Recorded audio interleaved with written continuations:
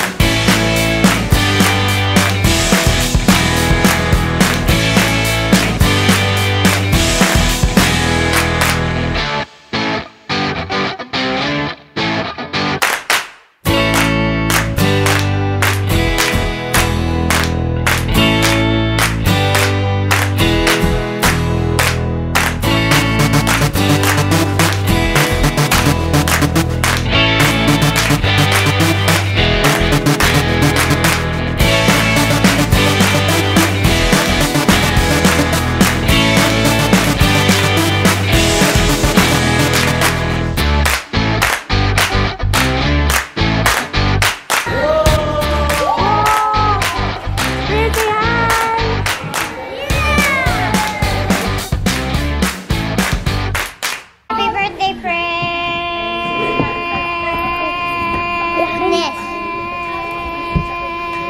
Eleven.